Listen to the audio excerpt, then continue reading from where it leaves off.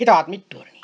මේ දවස්වල සජිත් ප්‍රේමදාස හැම තැනම ගිහිල්ලා කයිවාරු ගහන එක කාරණයක් තමයි Taman ප්‍රේමදාස යුගයක් ආරම්භ කරනවා කියන කාරණේ.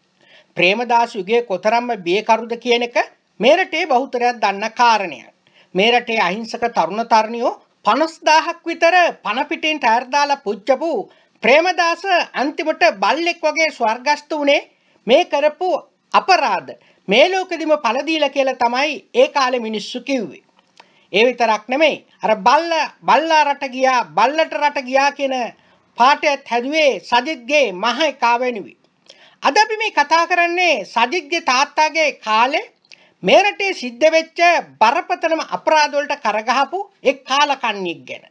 ඔහු සුසන්ත පුංචි නිලමේ.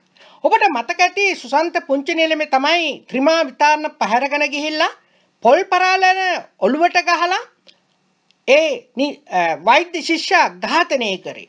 ඒ විතරක් නෙමෙයි විශාල වශයෙන් මේ රටේ තරුණයෝ ඝාතනය කරන්න සුසිල් සුසන්ත පුංචිනෙලම කියන ඒ මැරයා කටයුතු කරා.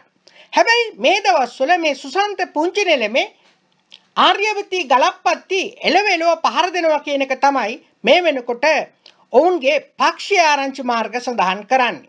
ඔබ දන්නවා මේ වෙනකොට පොහොට්ටු පක්ෂය ඇතුලේ එක එකා මිනි මරා ගන්නවා. විශේෂයෙන්ම දෑසිරිලත් ඒවගේම ඔහුගේ වටේ හිටපු ඇම්බෙට්ටොත් එකතු වෙලා ශ්‍රී ලංකා නිදහස් පක්ෂයේ බහුතරයක් එපා කියද්දි ඔවුන් ගෙනහිල්ලා ශ්‍රී ලංකා නිදහස් පක්ෂය පොහොට්ටුවේ එල්ලුවා.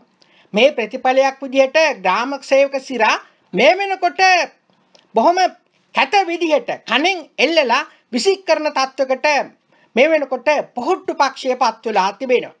ඒ වගේම තමයි දයාසිරිට සුසන්ත පුංචි නිර්මලටත් වෙලා තියෙන මේ කාරණේමයි. මේ වෙනකොට විශේෂයෙන්ම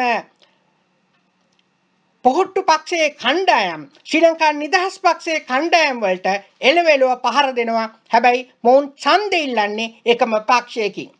අද දිනේදී ප්‍රවෘත්ති විකාශන අතරතුර කීප වතාවක්ම සුසන්ත පුංචිලෙනමේ නහයෙන් අඬන්නට පටන් අරන් තිබෙනවා.